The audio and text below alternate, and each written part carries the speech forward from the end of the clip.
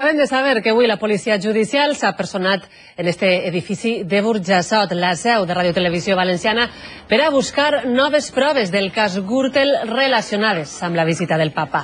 Durant diverses hores, la secretària, la secretària del Tribunal Superior de Justícia de la Comunitat Valenciana, agents de la policia judicial i perits informàtics han practicat diligències en aquestes instal·lacions.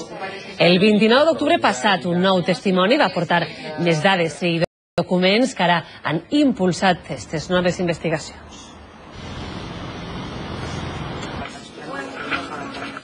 I Jui, per l'ocupació de la finca militar de les Turquilles l'estiu de l'any passat. Només